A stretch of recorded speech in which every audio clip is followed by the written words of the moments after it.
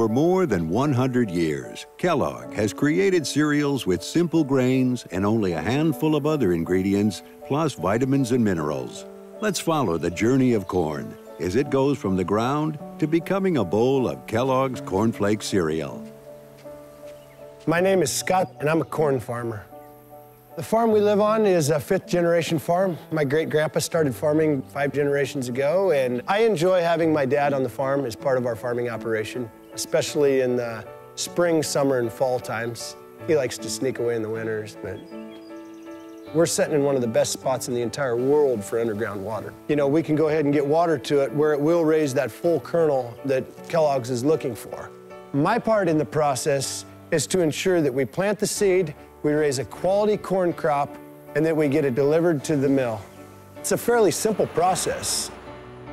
Once they mill the corn, they deliver the corn flaking grits to Kellogg, where we turn it into cereals that have been family favorites for generations using simple methods. In fact, the way we make cornflakes could be envisioned in your own kitchen.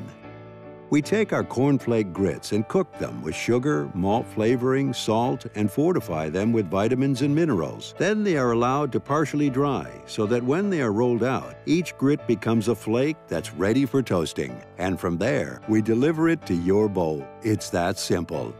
Any operation becomes more successful when you have pride in what you do. Begin each day with the goodness of a simple grain. Start simple, start right.